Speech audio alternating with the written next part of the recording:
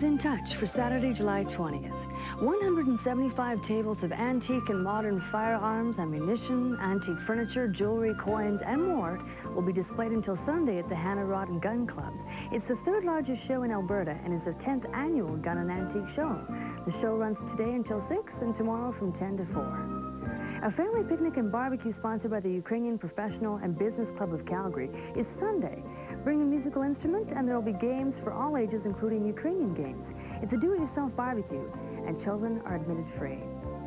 Volunteers are needed for the 1991 Carma Performance Triathlon. It will take place tomorrow at Lake McKenzie. If you can help with the run, bike, or swim events and be a part of the winning team, give the organizers a call. They'll also have an official T-shirt for you, too.